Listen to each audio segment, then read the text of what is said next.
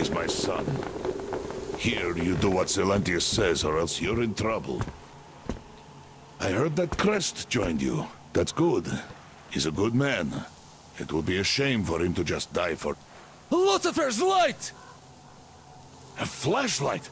But that's a great thing. I used to have one like that. Do you see it, son? Do you see things people could make before?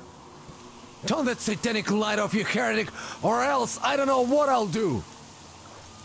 Yeah, just turn it off. You see how nervous he gets. Don't take him off anymore.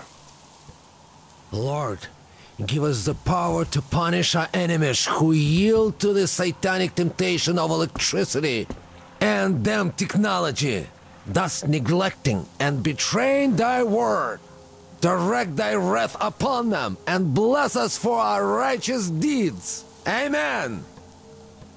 Turn it off. Now! No use talking to him. Begone, Satan! Wait, damn it! Son!